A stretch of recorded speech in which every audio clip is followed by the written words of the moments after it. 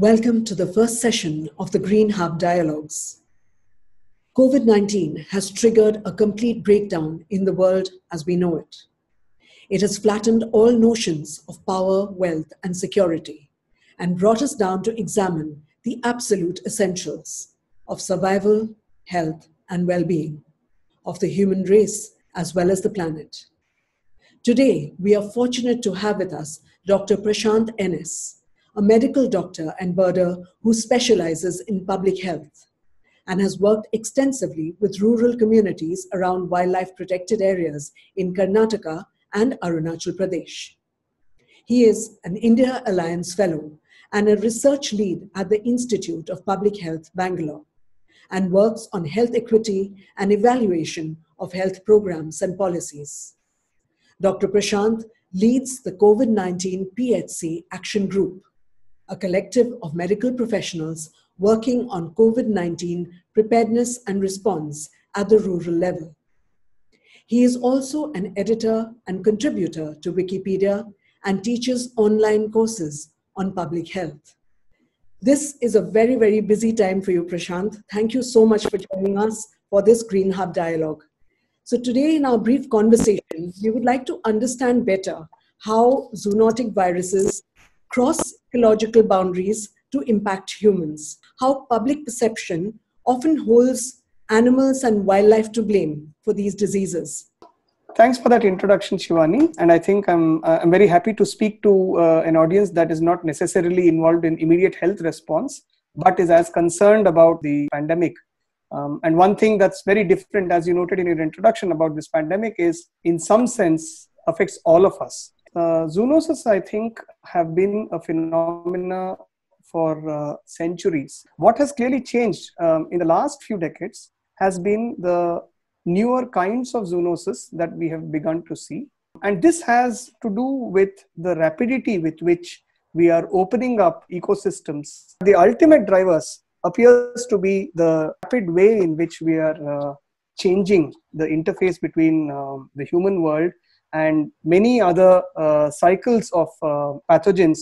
So, who is to blame? Yeah, for example, the Nipah virus outbreak um, involved bats, and uh, earlier there was the whole issue of bird flu and now we we are there's lots of media reports on possibly the virus uh, crossing over from bats through probably intermediate hosts like a pangolin or uh, some other species onto humans so do we now respond by saying okay look out we need to be beware of bats that would be very superficial way of responding to the whole issue of um, zoonosis so i think the ultimate message is that we need to carefully understand, monitor, and interact with the natural world, and we cannot take it for granted.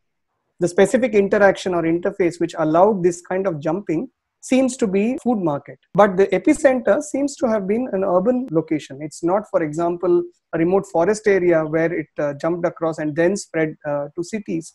So ranging from veterinary public health measures like um, animal handling animal handlers occupational safety and things for them to uh, monitoring and understanding better these cycles of uh, pathogens between wildlife and uh, uh domesticated animals and pets and humans as, is very important. Thank you, Prashanth. You're a medical professional, you're a researcher, and you're a wildlife enthusiast.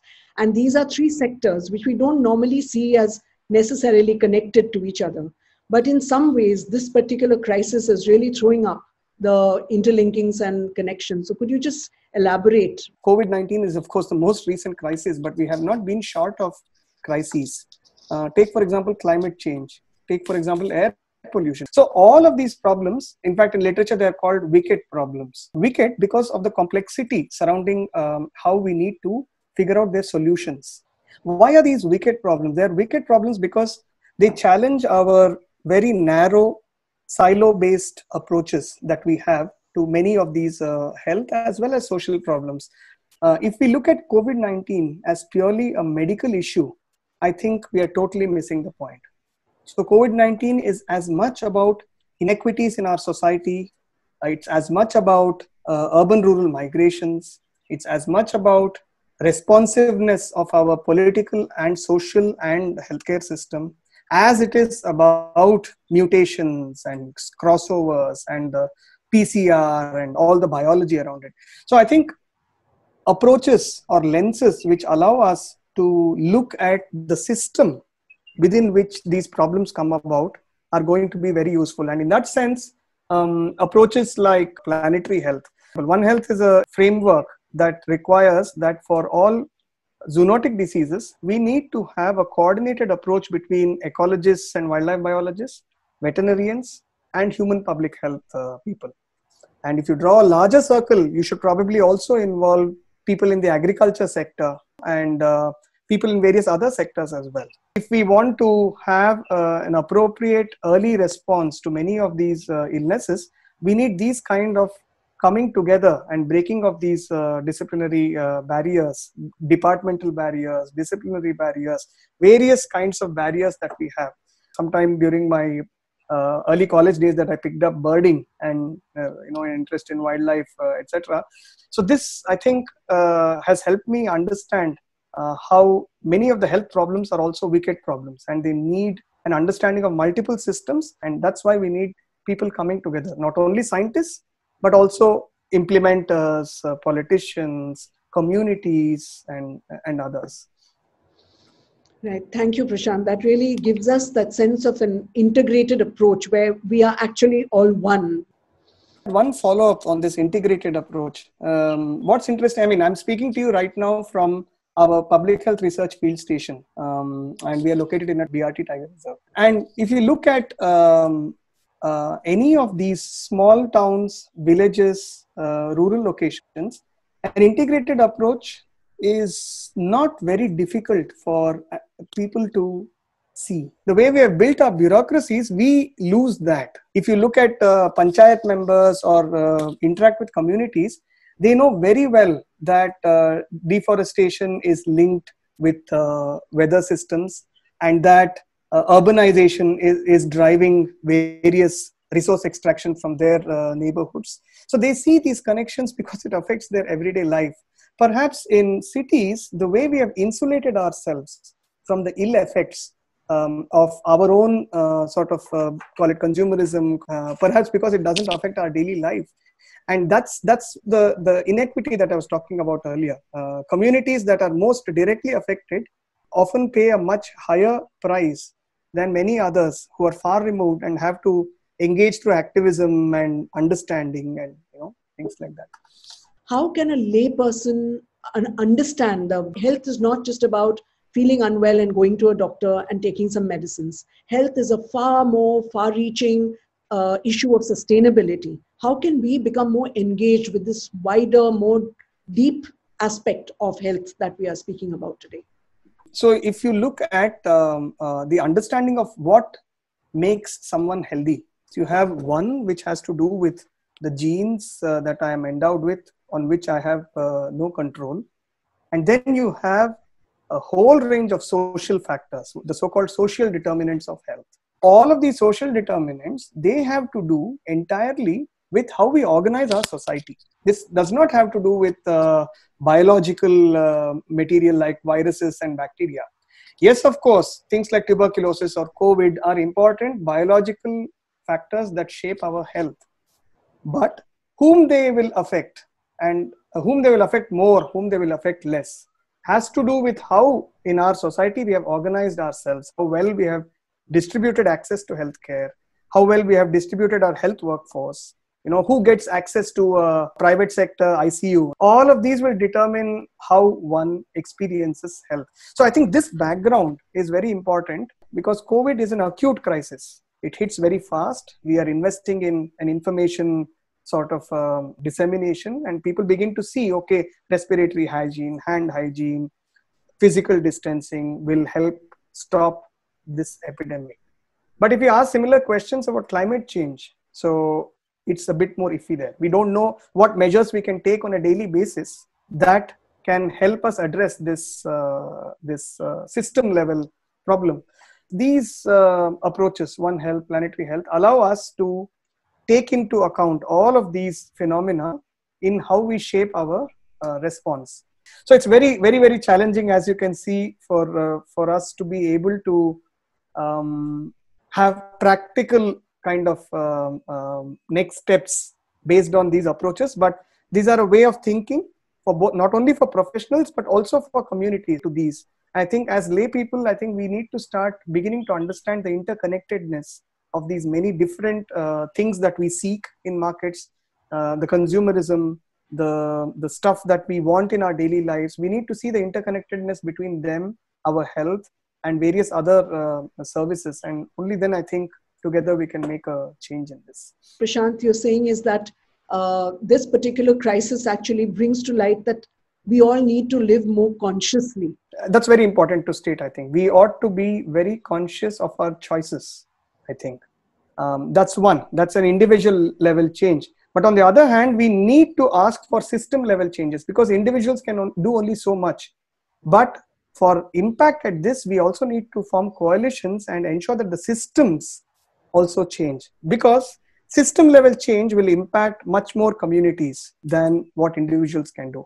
To what extent do we factor in sustainability in these aspirations becomes then an important so the, the, the way to achieve uh, our aspirations needs to also be sustainable in the long run so only when individuals come together and then impact the system and the choices it makes only then can we make a dent on the very large macro developments that also affect these processes so i think it's both individual consciousness of our choices as well as coming together and demanding a change from the system when you say about the system level change india's population landscape right from urban wealthy, urban poor, to migrants, to rural and farming backgrounds, to the forest dwelling and indigenous communities that you also work with. How is there a way that these systems can actually look at the really multifaceted existence levels of all these different uh, groups of people? The answer is not experts. Um, I think there is a certain uh, limitation in expertise while we talk of systems and that's why i think coalitions and participatory uh, kind of approaches and coming together is needed we need to move towards um, creating platforms where we can have these conversations in meaningful ways for very different communities it's really a, a conundrum but if we do not fix our issues of inequities and social justice it's very difficult to talk of sustainable uh, living. Take purposely a very huge contrast between the life of an Adivasi person and the life of an average uh, Bangalorean. The, their ecological footprint is enormously different. But uh, in all our behavioral change and various other policies and strategies, we are trying to fix the uh, the Adivasi, and we are putting more and more uh, you know restrictions on what he he or she can or cannot do, how she or she should live, where she should live. I think we need very very different approaches to be able to have such conversations. Uh, this brings me to the you equate information equity and health equity. So can you just explain mm-hmm. that very briefly? What do you mean by that, and how does it play out in India? I had been very passionate about about more than a decade back, around 2004 or 5, I started editing Wikipedia. And the fascination with being able to provide knowledge without barriers to anyone who's seeking it, um, that kind of leveling of barriers, you know, uh, uh, that you don't have to have a British library or a university library access to be able to read about, let's say, quantum physics or biology of a bird um, if you are interested. That the internet provided such a platform that allowed that kind of equalizing uh, that kind of you know information um, equity. So what if we could live in a world where health and healthcare and education for example would also be that way? Um, over the years what i've realized that uh, these are not the same some inequities are easier to fix so where does where is the parity with health equity you feel like barrier free access to health you feel is uh, Yes, I think it's still uh, still uh, we haven't covered sufficient ground. I think uh, with Ayushman, one is with the National Rural Health Mission. We today uh, have made a tremendous investment of having one ASHA uh, from in each village. Um, maybe not each settlement, but still we have an ASHA system, and that, that's a lot of ground covered. Uh, but yet uh, healthcare expenditure and type of healthcare uh, that is available to some people as opposed to other, a lot of inequities remain. this is really a struggle that we all have to come together in. And in fact, with COVID 19, if you look at the disparity of responses, the speed with which uh, Kerala is able to do contact tracing, the speed with which it's able to respond to the epidemic indicates decades of investment and preparedness in public systems. And that's, I think, the lesson we need to learn for uh, equity. If we need equity in any axis, uh, be it education or be it health or anything else, we need to invest in public systems because these are not goods that can be traded in a market but health is not like that education is not like that so i think if there's one lesson to take away from covid-19 it's the need to fix our public systems and distribute our public systems in equitable and socially just ways. That's very well put. Thank you prashanth. Covid-19 and whatever it's left us with do you think we can imagine a post covid world or is it more like a living with covid? Covid-19 being a, a highly transmissible viral epidemic pandemic infection will come like a wave and it will go. We need to look at this with a sense of proportion. Um, humanity has seen pandemics before. Uh, this one is uh, also particularly unprecedented in our generation but it will pass. And what will remain is still all of those wicked problems that we still haven't fixed.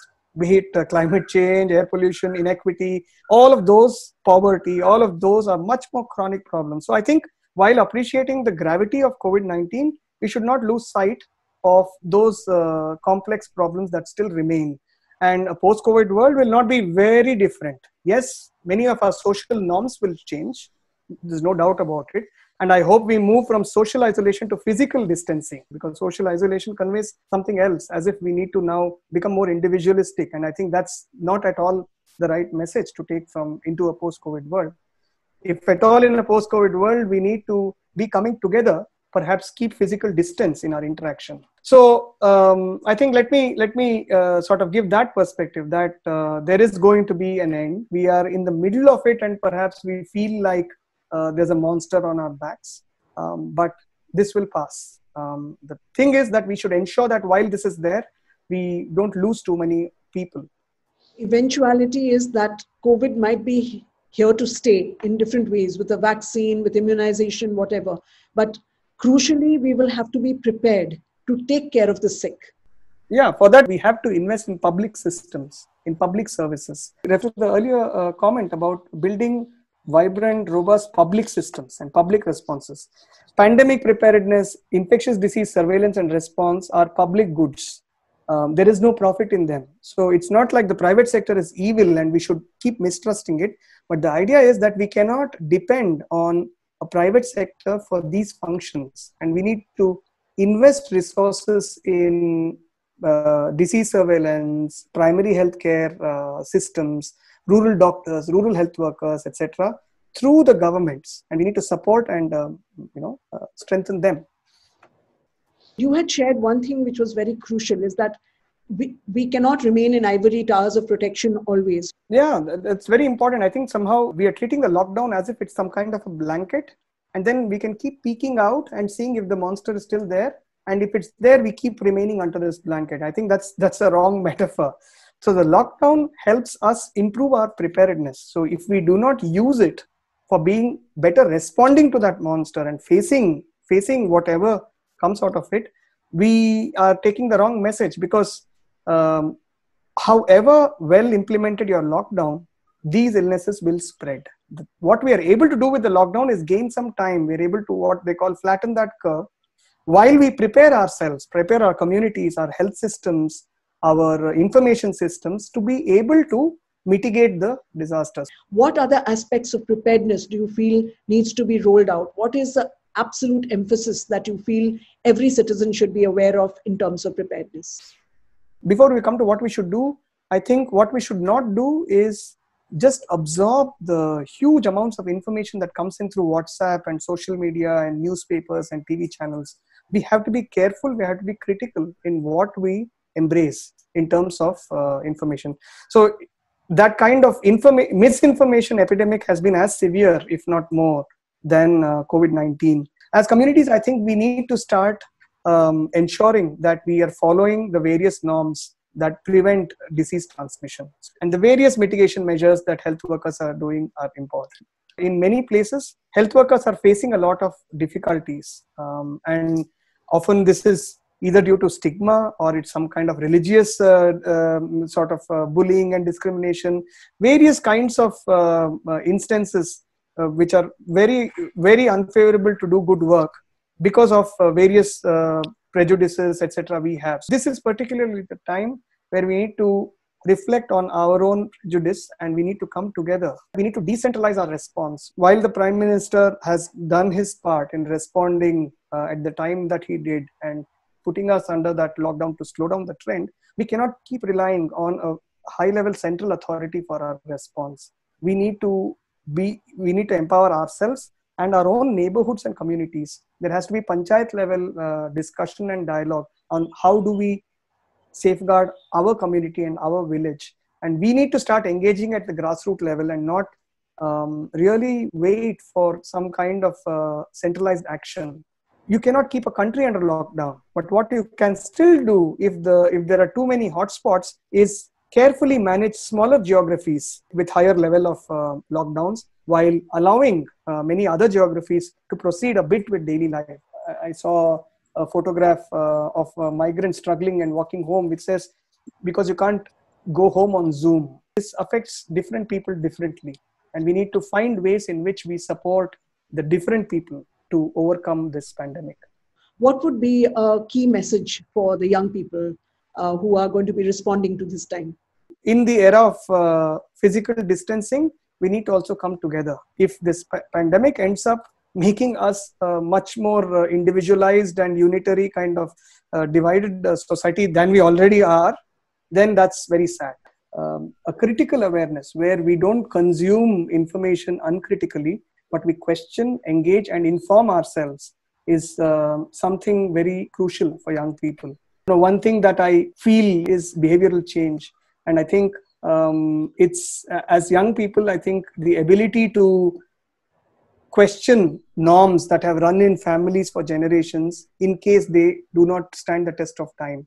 Um, the ability to incorporate new ways of more sustainable uh, living um, and changing practices to, uh, to, to take into account the way our environments and our uh, societies change. Many of these people are shaping the next generation to come, and not only the uh, uh, they're shaping the way the, the new generation will think. And I hope the thinking is about coalitions and coming together while keeping physical distancing during the epidemics and not uh, becoming more uh, individualized. Like I said, we must act on much larger social inequalities um, and not only coming together for this uh, COVID 19. And that's the challenge of the post COVID 19 world. Thank you, and all the very best to the Green Hub Fellows, and I hope they can make a difference wherever they are, uh, not only for COVID 19, but also for a better uh, future. Thank you, Prashanth. Thank you. That's very valuable. Okay. Thanks a lot. Thank you.